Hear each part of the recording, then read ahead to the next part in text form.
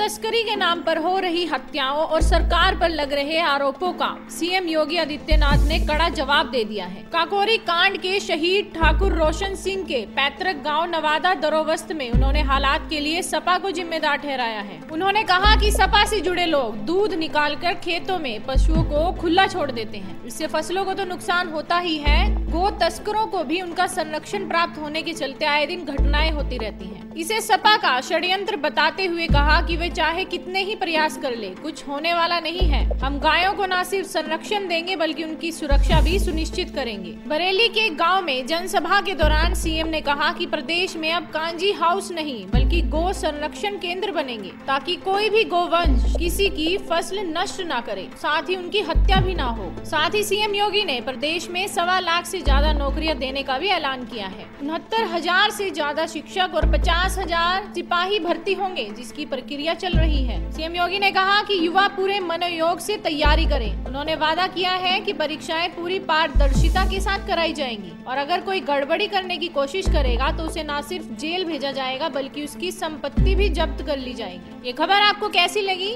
आप भी इस खबर आरोप अपनी राय दीजिए लाइक कीजिए शेयर कीजिए और साथ ही हमारे चैनल हेडलाइंस यूपी को भी सब्सक्राइब कीजिए